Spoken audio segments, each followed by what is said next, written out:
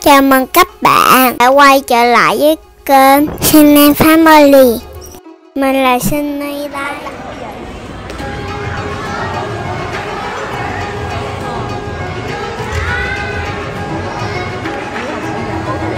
Một chàng vỗ tay thật lớn để cổ